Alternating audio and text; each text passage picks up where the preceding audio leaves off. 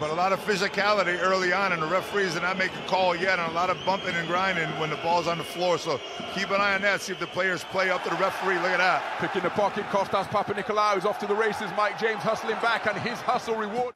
So Papanikolaou inside to Vezenkov, reverse pivot, passes out of the double team. Papanikolaou for three, and oh. he strings it.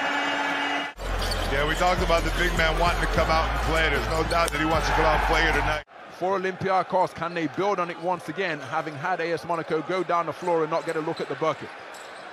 What an offload.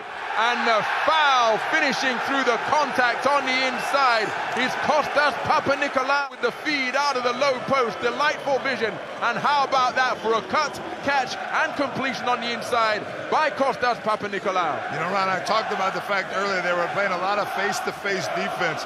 So you want to talk about adjustments that are made at halftime?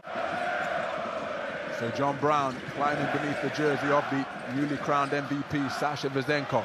Corner three-pointer from Kostas Papanikolaou is buried, and it's a double-digit run. So Walkup orchestrating a half-court offense. Oh, what an intricate pass on the inside. Count the basket. Kostas Papanikolaou. And he'll go to the free throw line looking to add one more. This this is Olympiacos basketball, right? Olympiacos set up their, their that trap in defense, the switch in defense. So Sloukas using screen a screen from Joel Bolomboy, oh. cutting baseline and running a layup drill is Kostas Papanikolaou. Looking at right there.